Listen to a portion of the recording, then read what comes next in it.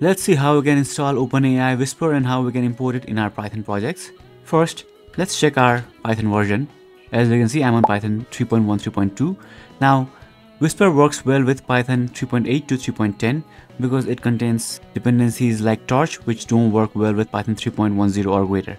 So if you are on Python version 3.10 or greater, make sure you roll back, uninstall and install an older Python version. Or if you have Conda installed, you can check if you have Conda installed or not by just typing Conda. And if you get a list of commands like this that means that conda is installed. If you have conda installed then you can just create a new virtual environment with python 3.10 and enter this command. Create dash n let's call it whisper env. And then you can define which python version do you want to create this virtual environment with. So if you have conda you can just do this.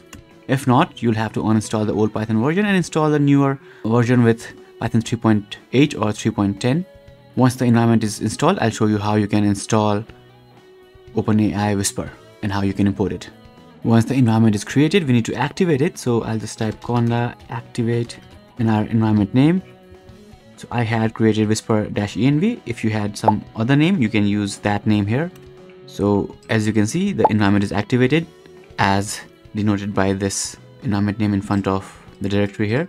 Now we can install our OpenAI Whisper here. Now let's check the Python version in this environment and as you can see we are now on Python 3.10. Now you just need to enter this command pip install OpenAI-whisper and hit enter. Now OpenAI Whisper will start installing.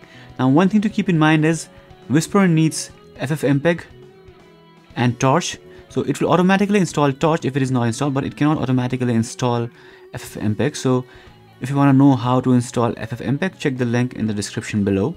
And also, as you've seen, Conda makes it very easy to create any environment with any Python version. So if you want to see how you can install Conda, again, check the link in the description below. So after a few minutes, OpenAI Whisper will be installed. Once this is installed, you can just import OpenAI Whisper by typing import Whisper. Now you need to make sure run this project using the virtual environment that you had just created, that is this virtual environment, okay? Otherwise, you'll get an error that says Whisper is not installed.